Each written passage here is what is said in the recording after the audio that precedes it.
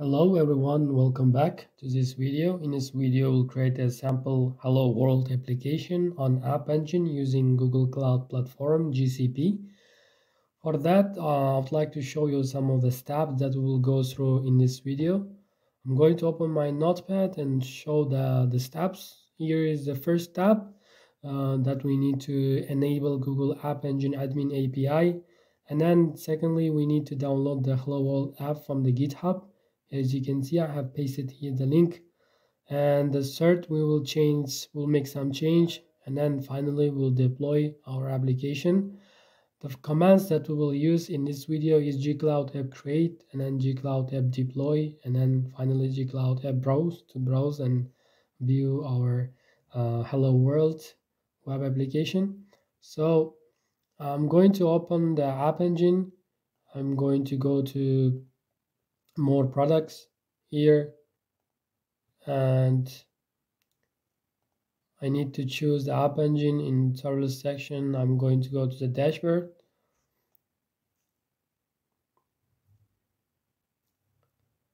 Here we need to click create application.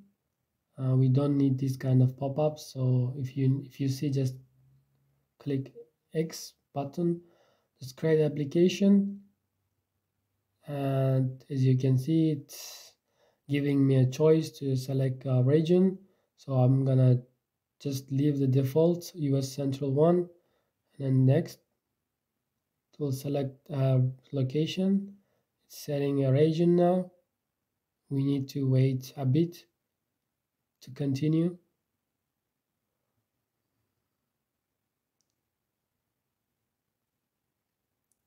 So after we select the location, we need to open the act. We need to activate the Cloud Shell. You have to click this, but let's wait a bit. We need to see our application. As you can see, we have a Python language.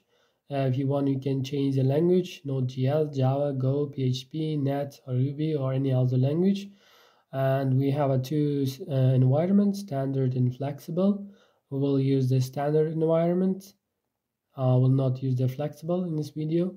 So let me activate the cloud shell first and then I will show you. If it doesn't allow you you have to go to the app uh, app engine admin API and ena enable. In this case I have already enabled it uh, it's really easy. Just go you can go and enable it. Font size I'll say the medium. And then now first and foremost we need to download the, the this uh, Python doc samples from the github copy. I will paste it in the comment section so you can also get and clone it. Now it's cloning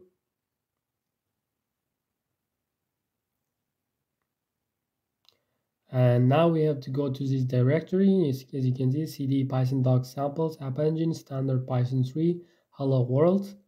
I'm going to copy this and paste here.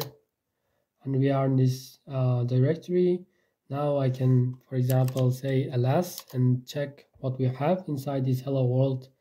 We have app.yaml main.py and main test.py uh, let's change the main.py the content I'm going to write nano um, main dot py and then I'm going to go to the below bottom and here you can see there is a line called hello world and uh, is it possible to make it more clear for you? Yeah I think it's possible. Hello world will change this content to for example hello simple GCP and then we can just write kelter O and just uh, enter and kelter X. And now we have changed it. So now we can deploy it uh, using gcloud app deploy. Gcloud app deploy. And we can authorize and just click yes it's now updating a service. It's now um, deploying. So it will take a bit time. After that we can check our hello world hello simple gcp application on app engine. So as you can see there is a target url we can click and see it. But we need to wait a bit so that uh, it's now updating.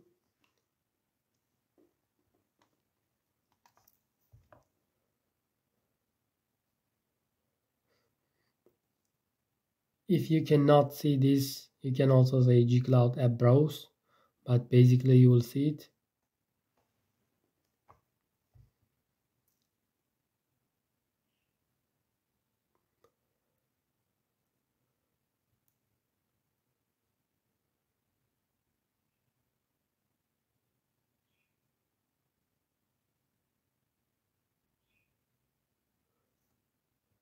setting a traffic. Now it's uh, it's done so you can just write for example gcloud gcloud app browse and click enter and you will see there is a link here. As you can see you can just click this and you will see here hello simple gcp so this is our sample hello world application. Hello the simple gcp application. On app engine using a standard environment. So just play around with it. And if you cannot uh, i have forgotten one uh, the thing that uh, that we missed at the beginning. If you if if the app engine does not allow you have to go to app engine here uh, app engine admin api here. App engine admin as you can see it, it it's already enabled in my case but uh, in your Google Cloud Console, if it's if, if it doesn't allows you, just you have to enable. You know, here it's as you can see, it's already enabled. API is enabled. If you see this is not enabled, just try to enable it, and then you have to start doing the the whole step at the beginning and then the, the first. Okay, so this is all about it and this video and you can see the hello simple gcp it's working here so thank you very much and see you in the next videos.